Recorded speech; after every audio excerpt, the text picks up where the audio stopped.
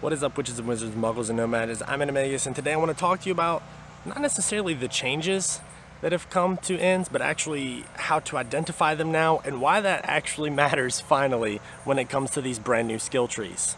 So recently with the new skill trees, there have been just we're just inundated with so much new information to take in and there's so much reading to do and there's so many details that it's very easy to get confused or to get lost or to get distracted by one particular skill that you really want to chase after or how we can get to that as fast as possible. And so by upgrading certain things in the preceding nodes, that can actually help us unlock the thing that we're trying to go after. So the reason that this is important when it comes to inns is there are certain skills, as you can see on the screen now, that only affect tea shops or that only affect restaurants. And then there are some that only affect pubs but then there are also some that just affect inns in general. So the umbrella term for a point of interest that helps you refill your spell energy primarily by way of meals, if you'll think of it that way, or snacking or whatever you want to call it, are called inns. So every every one of those are an inn. Now there are five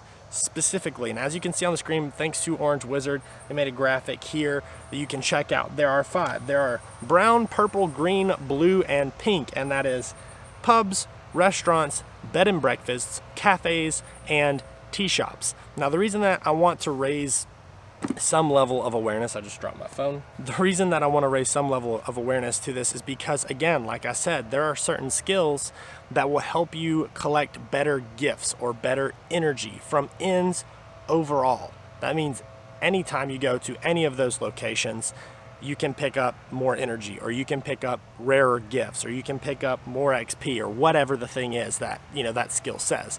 But then again, there are also certain skills that only allow you to get better things at pubs or better things at restaurants or better things specifically at tea shops. So before you spend those books, before you spend the rare currencies on any of those upgrades, do a little bit more reading than usual. If it seems like it's an overall upgrade for an inn or a point of interest that's around you, for example, right now I'm sitting in the Botanical Gardens and there are tons of pubs and there are tons of restaurants around me. So if I come play here often, that could be an upgrade that is worth it to me.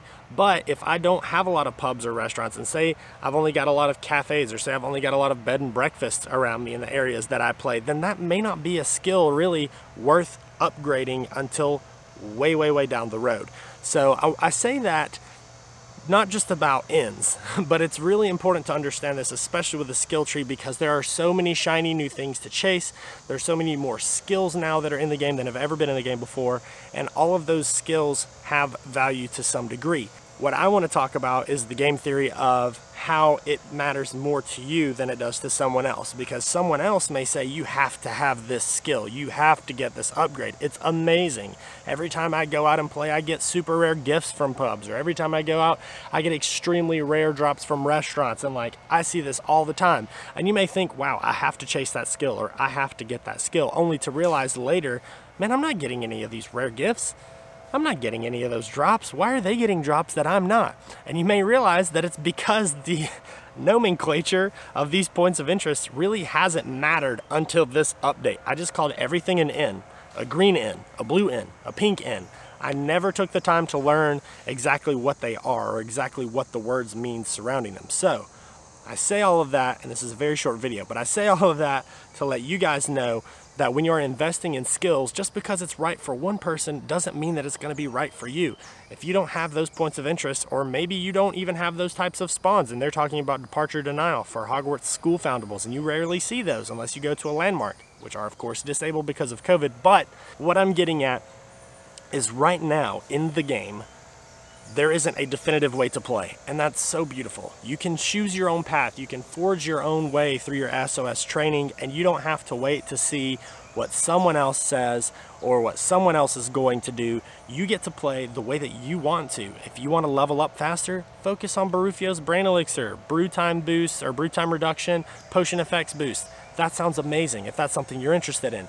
Are you having trouble against a specific family of foundables?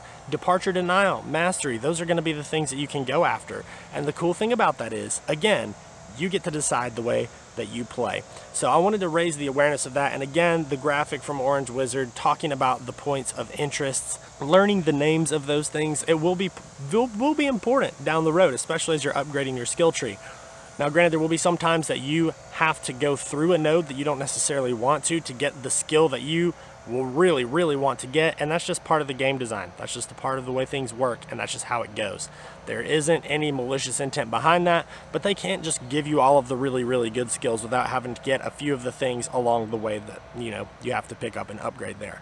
So guys, thank you so much for watching this video. Again, let me know down in the comment section below if you knew that these POIs had different names before this update, if you ever noticed that at all. I mean, I know I noticed like the difference in color, but not really the difference in the stuff that they had. So again, let me know what you guys think down below, what types of skills you're upgrading. I'm interested to see as I start to theory craft skill trees and skills that specifically help certain uh, types of players and uh, start talking about those in videos. So if you haven't already, please hit the thumbs up down below as well as clicking that red subscribe button and turning on those bell notifications so you can be made aware the next time I produce a piece of Wizards Unite content. Thank you so much for watching this video. Go have a blast with SOS training and I'll see you in the next one. Bye.